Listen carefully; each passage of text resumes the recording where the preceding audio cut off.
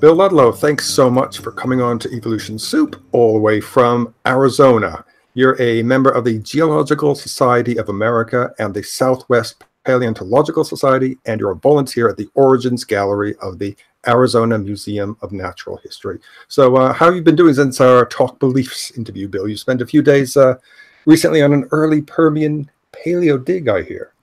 I did, yeah, yeah. Things have been going great. My YouTube channel's really been taking off lately.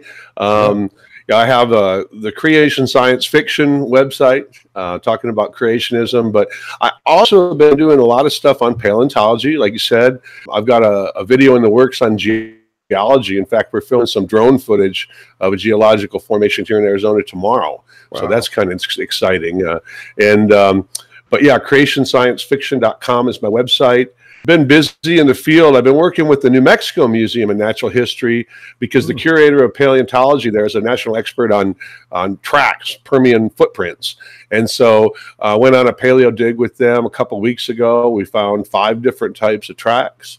Um, we also you found, always seem to be finding you know, tracks, Bill. yeah, well, we're, we're, kind of looking for them now. I stumbled yeah. on the first set. Um, in fact, that initial find that I talked with you about, I think the last yeah, time, Coconino um, sandstone. Right, I'm up to yeah. 94 sets of tracks in one area, um, about a about a third of a mile on a local lake. Uh, we've documented 94 sets of tracks. Uh, the paper on that will be coming out this summer, the initial paper, and we're working on an abstract on the recent one. Um, we found actually even a, a hand size uh, footprint of an amphibian with it had skin imprints on the palm, which is really rare. So that was neat as well as we found stuff that talk, talk, told us about the environment fern fossils, conifer fossils, things like that. It was a freshwater environment, kind of a swamp. And um, I did a video about that recently. I said, We're working on an abstract for a poster presentation. If we get it done in time and get it approved, I'll be doing that at the Geological Society of America National Convention here in Phoenix this fall in September. So, and an abstract is for anyone who doesn't know, it's like a summary, isn't it, of a paper that correct. Yeah, and you know, more lengthy. Right. And for presentations, we have to submit an abstract in advance and get it approved. And then we actually give the, the full presentation at the meeting. So today, Bill, we're going to be discussing the latest finds in the world of human origins, how it affects the current state of paleoanthropology, and of course, your own personal take on things. I think a good place to start is the discovery of a new species of human out there in the Philippines, Homo luzonensis. So, What's the story of this discovery and what do we know about this new species? Well, you know, we actually know very little. Human origins is my favorite topic, though, and I'm always down to talk about that. That's for sure. So, yeah, um, you, you, know, the honest answer is we we just don't know an awful lot. So far, they found some hand and foot bones, uh, a thigh bone, and seven teeth. So we don't really have an overall picture of the anatomy of this species. Um, it's definitely something new, though. Uh, but no skull cranial remains have been found, um, you know, other than teeth. The fossils are dated uh, 50,000 to 67,000 years ago. So, you know, it's something that was alive in the Philippines, in that area, uh, at the same time as Homo floresiensis. So it's been compared to Homo yeah. floresiensis quite a bit. Um, Which was the Hobbit, of course. Exactly right. Yes. Um, you know, they uh, in like the Hobbit, it shows a mixture of archaic and more modern traits too. So that's what's interesting. You know, a lot of interesting things about this. One of the foot bones was actually discovered back in 2010. Um, but it was thought to be a smaller member of our species. Um, the remaining fossils were actually discovered between 2011 and 2015. But of course, you know they they were studying them. They wanted to come up with uh, more information as much as they could before it was really published. So one of the another one of the foot bones that they found close more closely remembers Australopithecus than genus mm. Homo. So that's another interesting thing. Uh, it's just a real mixture of, of features. Um, so you don't think it's an, an offshoot of Homo erectus, like is what they're thinking with uh, the Hobbit? Well, you know, that's kind of been set aside, at least by most people. Uh, there was a 2017 study by the Australian National University. Um, they concluded that Floresiensis probably had a, uh, an ancestor. Again, we're talking Floresiensis, not Luzonensis here now, um, but had probably had a common ancestor with Homo habilis or something very similar to Homo habilis over a million years ago in Africa. They compared 133 different data points. I mean, pretty much the entire anatomy that we know about both of those species and determined that there were traits that Floresiensis had in common with habilis that were continued on and were lost in species like, say, Homo erectus.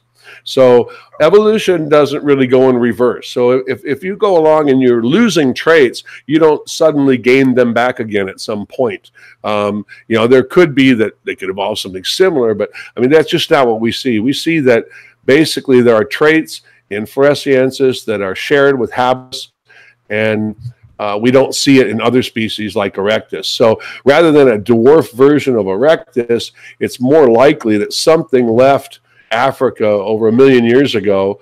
Uh, we start seeing the fossils um, dated at about 700,000 years ago with Floresiensis, so the evidence for it, and that it remained genetically and geographically isolated from other hominins in the area and just evolved in a different direction while retaining a lot of those earlier traits.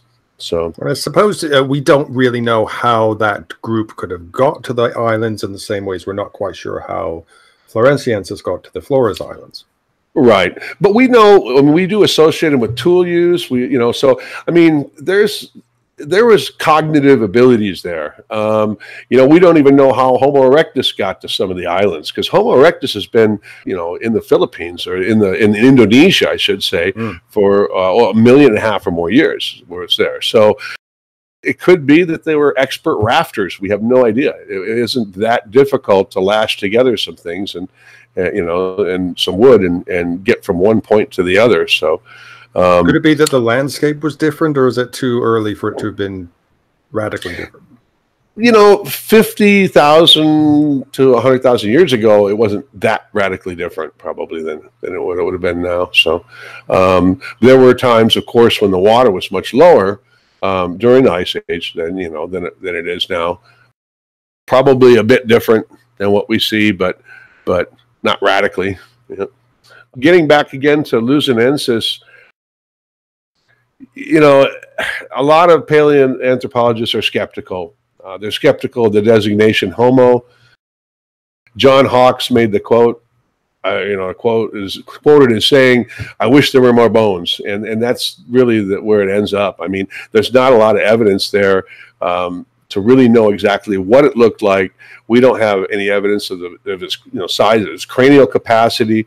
You know, cranial capacity, bipedalism, and tool use used to be the criteria for designating genus Homo and still sort of is but you know way back in the mid 1900s, I mean, they talked about a cranial capacity of 750 cc's would have been the minimum. So Homo habilis snuck in there uh, on some of those early Homo habilis, but you know now we, are looking at a cranial capacity of I think it's around 417, 425 cc's for Homo floresiensis. So that we've yeah. thrown out the cranial capacity because we see evidence of tool use and we see evidence of bipedalism. Um, with Luzonensis, though, the only evidence of possible tool use is a deer bone with cut marks that might be cut marks on it, found in the same layer as one of the foot bones. We don't have any actual stone tools that are associated with the fossils. There's evidence of stone tools going back 700,000 years in the region, um, along with butchered rhino skeleton, but it's not associated with fossils from Homo luzonensis. There's no uh, hominin fossils associated in those layers. So, you know, they're speculating. Um, and to designate it as genus Homo, it's, it's, it's a reach. Given the few foot bones, the fact that it's slightly smaller than the Hobbit, uh, we don't have as much evidence that it was actually committed to walking fully upright. I'm kind of surprised nobody's nicknamed it Gollum. that would be the next yeah. logical step, wouldn't it? Do you think right. they jumped the gun a little bit with these these uh, designations of genus? Well, I had an interesting conversation about a month ago. I've been lucky enough now to be invited a couple times. In fact, I have mutual friends with this person who are musicians in the area. And her name is uh, Friderun Ankel Simons. And her husband, Elwyn Simons, they taught at Duke University, Friderun is an amazing woman. She's in her 80s now. She wrote the book Primate Anatomy, which is still in use. It's in its third edition. Uh, they did a lot of studies in Madagascar and Eastern Af- Africa and early primate evolution and, and modern primates she was actually personal friends with Mary Leakey, um, wow. and and and you know uh, stayed with them at Olduvai Gorge at times, and and just lots of great stories from her on, on all these things that have happened down there, and that you know different things that went on back back in the 40s and 50s and 60s, and and um, but anyway, I asked her, you know, and I asked her what did she think of this new find, and she almost didn't want to talk about it. She just said, everybody wants to find something in the genus Homo. You know, um, and assign and, a name to it. And assign genus Homo, and and also it, was just like the race with the Leakeys and Johanson and those guys back in you know last century, where everybody wanted to find the earliest genus Homo. So. Um, you know whether or not this is going to remain in our genus or not as more fossils are found is is up for question um, you know, it's I think uh, personally, I think it's really pushing it to assign it to genus Homo with so few remains and really uh, no concrete ev- evidence that it used tools and and, and the d- small, well, we assume a small cranial capacity unless it was a three foot, you know, uh, hominin with a huge head. So, yeah. Well, if if new uh, finds are discovered, new bones are discovered, which they probably will be. Um, the good thing about science is that they'll say, "Okay, we were wrong about this, and now we're going to reclassify." There's a rush now there to go back and look at some of these previous sites because we had uh, found a lot of evidence for Homo erectus in in the areas in fact, some of the more most recent, you know, um, I shouldn't say recent or more, uh, the least old, uh, um, in, in age, Homo erectus has been found down in Indonesia there. But they would stop digging when they got to certain layers, you know, just because they hadn't found anything previously in older layers and other layers. So, um, read an article about that. So I think we're going to see a lot more digging, uh, a lot digging deeper into the area and, and, coming up with some new fossils. And of course, what often happens, as you know, is somebody is uh, dusting off some old finds in a drawer in a museum, and uh, there's something there that they think, oh, hang on, this might be this new species that was just. found. well, that happen. leads us that leads us into our next topic we it were talking does. about discussing, doesn't it? Yeah. yeah. Yeah. Excellent. Well, it doesn't seem that long ago that that uh, scientists stumbled upon a new species that was probably more surprising even than uh, Homo luzonensis. I'm, uh, of course, talking about the Denisovans or Denisovans or however you want to pronounce it. Either um, way. Yeah, I say Denis- Denisovans but it was a, uh, a tiny finger bone found in a cave in Siberia that was uh, DNA sequenced and turned out to be a totally new species, genetically distinct from the hominids in the area at the time, namely modern humans and Neanderthals. But this year, 2019, another Denisovan fossil was found. And this was a pretty fascinating discovery, wasn't it? Particularly the way it was found.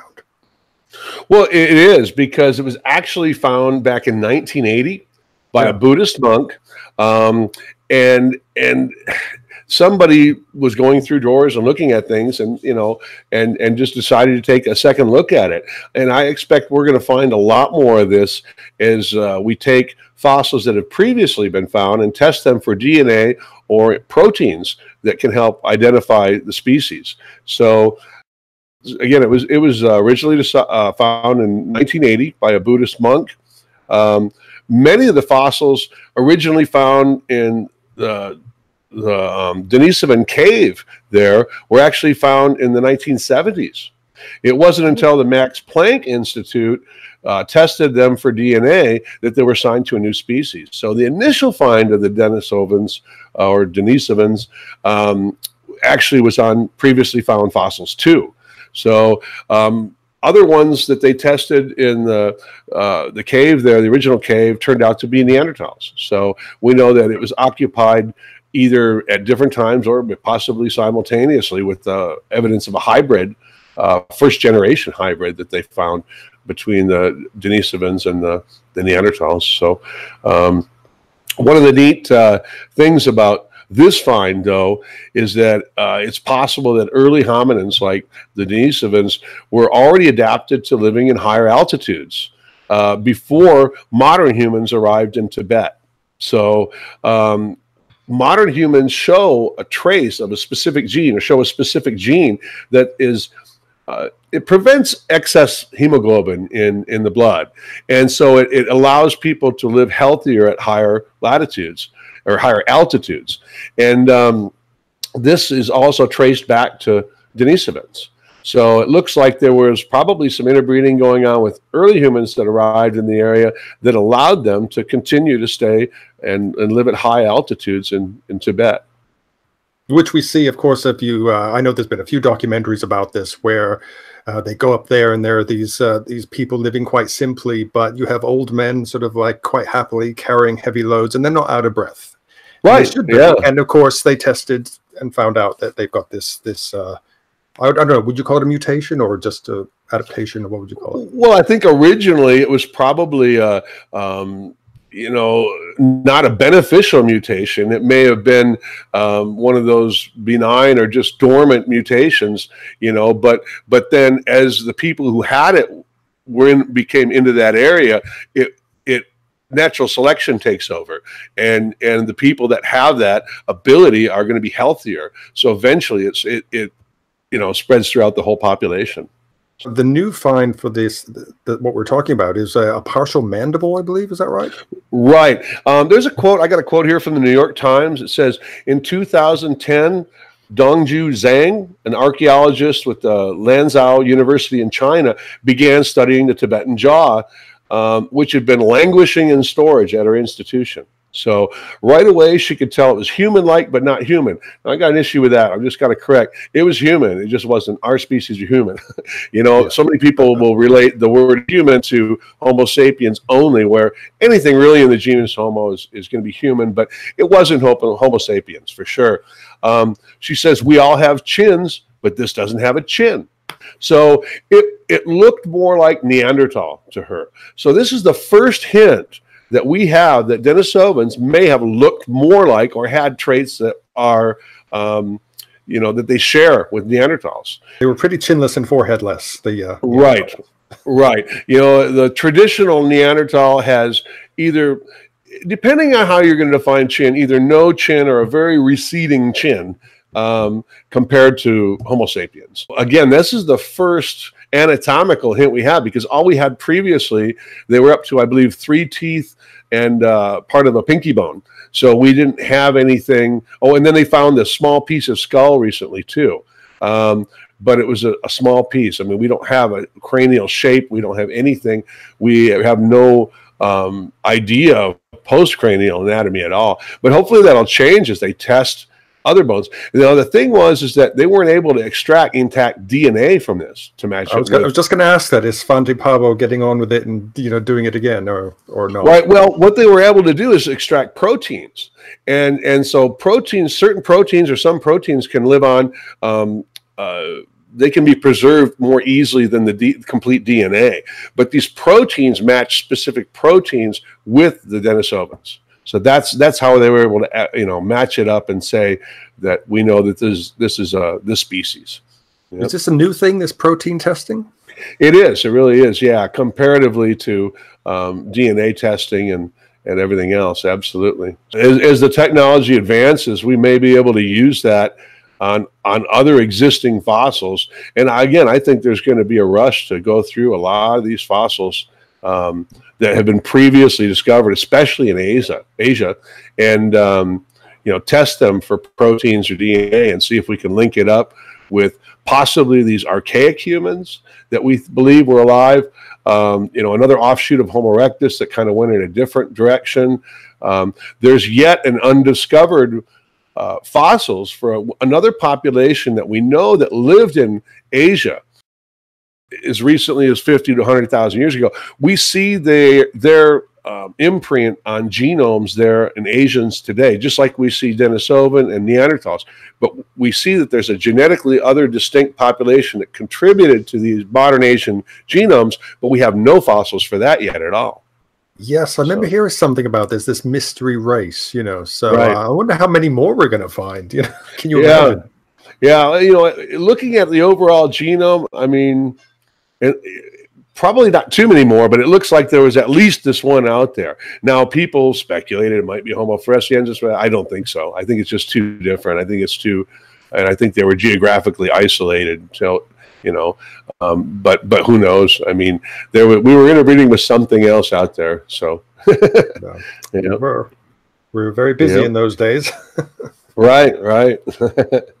well, Bill, in 2010 the paleoanthropology world was rocked by the discovery in South Africa of a new species of Australopithecus. This was named Australopithecus sediba, two million years old, discovered by Lee Berger, or rather by his nine year old son, which quickly became a contender for the so called missing link between the ape like Australopithecus and the human like Homo genus. But in January of this year, scientists concluded that Sediba is distinct from other lineages, effectively removing the species as a likely human ancestor. So, were you surprised by this, Bill? Can you see why this has happened?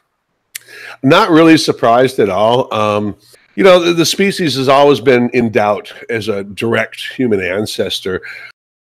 I met Lee Berger. I like Lee Berger. Um, he is he has always kind of pushed, you know, towards you know the South Africa, putting South Africa forward as far as uh, in being involved in human evolution for modern it was, always, it was always East Africa before that, and of course with Chad a bit with the uh, but uh, never South Africa. Well, you know there are gaps in the, the fossil record in East Africa that are filled with with hominins from South Africa. I mean, when you look at um, Australopithecus afarensis and then um, you know, Australopithecus africanus down in South Africa. Um, but I think what was going on um, is there were just there were hominins all throughout Africa, and and we just haven't discovered a lot of those fossils yet. Um, you know, Lee Berger has strongly suggested in the past that it was possible. Sediba has always faced the issue that the fossils are dated slightly less than two million years old, and we have evidence of genus Homo in East Africa at 500,000 years older than that or more. So um, there's the problem there. We've got genus Homo already in East Africa. We got Sediba at, at you know, 500,000 years younger. There's, there's a problem for Sediba. It hasn't been booted from our family tree. It's just been booted from a direct line of ancestry to, to genus Homo, modern humans. So uh, just moved to a branch that didn't maybe directly lead to us. It doesn't really diminish the importance of the find um, because it's one of these important finds that tells us that there was a lot of diversity at any one time. You know, 30, 40 years ago, they were teaching that it was a, a direct ladder like, you know, step by step uh, evolution from one species to another. Now we know that that's not true. They taught that because that's what we only had so many fossils. Um, now we know that there was a lot of diversity at any given time, and um, that you know a lot of uh, different species or or closely related species went into making the next level, the next. You know, there would be, uh, they could have gotten, you know, different attributes or, or advanta- advantageous attributes from other uh, crossbreeding, hybridization, that kind of thing too. So Southern Africa is a great example of endemism where what we see um, going on with Sediba and Homo naledi compared to things that we see going on in East Africa at the same time, we say, see that same type of thing with today or in recent history with, let's say, zebras. You know, the South African version, I can't remember what it's called now, but it's now extinct. Um, but it was slightly different than the version that was, you know, still alive in, in East Africa. Um, wildebeest. We've got um, the uh, blue wildebeest in East Africa and the black wildebeest in South Africa. They're slightly different, closely related. You can tell they have a common ancestor, but consider different species. Same thing as with gazelles, and there's a lot of different types of gazelles, but we see distinct species of gazelles in southern Africa that are different from uh, Central and Eastern Africa. So what you've got is there were periods of time, and, and this was discussed um, at length by Steven Churchill from Duke University. Um, I, I, saw a lecture of his where he discussed this at length, where he talked about there were a lot of times where there was changing environment in the, the areas in between South and East Africa. Um, those changes in environment, heavy forestation, things like that, would have genetically and geographically isolated the populations at times. Then there were other times where it was maybe more open grasslands and they were able to intermingle. So what you've got is this environment going back and forth in different areas, uh, cutting them off geographically and genetically, and then they were able to come back together at times. So you have this in evolution going in different directions slightly in South Africa than you did in East Africa. And I think that's what we saw with Australopithecus, where you've got Afarensis, you've got, you know, in East Africa, you've got um, Africanus in South Africa, and some members of Africanus went their own way and ended up becoming Sediba.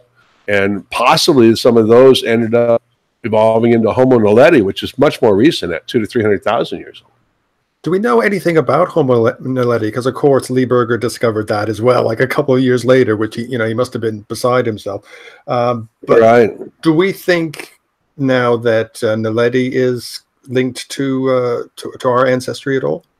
No, I think it's an offshoot. I mean, we had you know anatomically modern humans um, by the time that these Homo naledi fossils are dated, and the, and when you look at them, they are half ape. I mean, they are well, we're all apes, but I mean, from the waist up, they show a small head, uh, small shoulder, narrow shoulders, long arms compared to the legs, curved fingers, permanently curved finger bones, uh, which are still adaptations to arboreal or living or moving around in trees. Um, we don't see that with other members of of genus Homo at the time.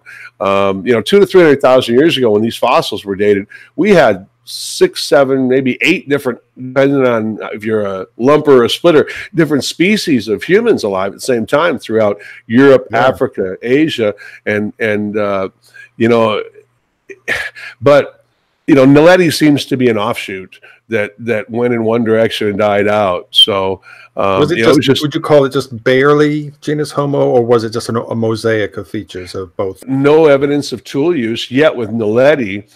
Homo naledi may end up becoming reclassified as a different genus as we find more fossils in South Africa that show or don't show a connection to early Australopithecines there. So, right. Okay. Well, that was really fascinating as always, Bill. Thank you so much. And I'm sure this won't be the end of the new discoveries, as I've said, in the world of human origins. Uh, there'll no doubt be more. And I hope you can come back onto Evolution, yeah. Evolution Soup and review them for us. All right, and good luck with your new channel. Um, as I said, I'm gonna I'll mirror this on my channel and, and put a link into your channel. Um, yeah, I think what you're doing is awesome. I've watched some of your videos. Your interviews are, are excellent. So Oh, thank you. That's an honor to hear that from you, Bill. Thank you so much indeed. And I'll put uh, links to your social media and Facebook pages in the description below. And of course, if anyone wants to come and say hi and talk paleo stuff with you, they can find you at the Origins Gallery of the Arizona Museum of Natural History. So, Bill Ludlow, thank you very much indeed.